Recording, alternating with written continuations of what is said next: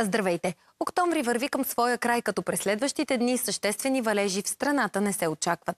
А днес от север облаците ще се увеличат, като те ще обхванат главно северна и източна България. Вероятно за валежи има в югоисточните райони. В останалите части времето ще бъде предимно слънчево. През деня вятърът от североисток ще се усили и ще понижи температурите, като днес те ще достигат от 15-16 до 23 градуса на югозапад.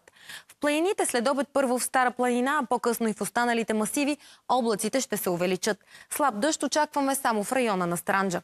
В следобедните часове вятърът от североисток ще се усили и температурите слабо ще се понижат, като по най-високите ни върхове Очакваме стойностите да достигат до 5-6 градуса.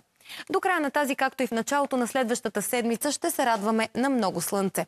Леко ще се затопля и към вторник максималните температури ще достигат до 24-25 градуса.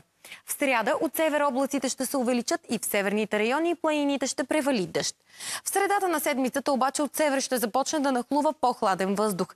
Дневните температури ще се понижат с около 3-4 градуса. Такова ще е времето. Останете с нас.